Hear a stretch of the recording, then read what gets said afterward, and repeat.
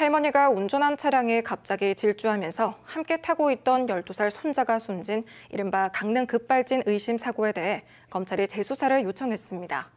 앞서 할머니는 혐의가 없다며 경찰이 불송치 결정한 사건에 대해 추가 수사가 필요하다고 판단한 건데요. 유가족들은 거세게 반발하고 있습니다. 정면구 기자가 보도합니다. 지난해 12월 강릉에서 발생한 급발진 의심 사고입니다. 운전하던 60대 할머니가 크게 다치고 뒷자리에 타고 있던 손자 12살 도연군이 숨졌습니다.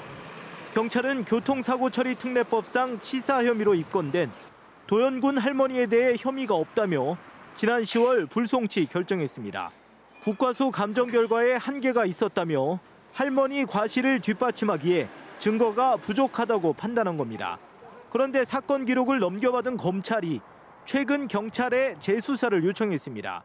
검찰은 최근 민사소송 과정에서 추가 감정 결과 등이 나오는 만큼 자료를 좀 더 검토해보자는 취지라고 설명했습니다.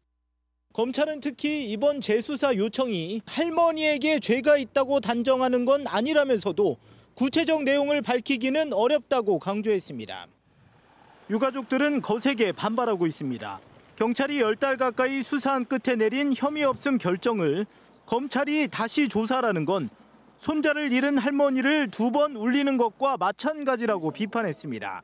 무엇보다 민사소송 진행 중에 검찰이 자동차 제조사에 유리한 방향으로 사건을 몰고 있다는 의심마저 든다고 강조했습니다. 추가적으로 명확한 증거물이 나오지 않는 상태에서 재수사 요청을 했다는 것 자체가 상식적으로 납득하고 이해할 수 없는 상황입니다.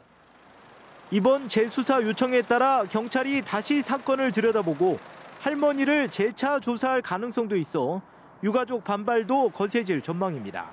KBS 뉴스 정명구입니다.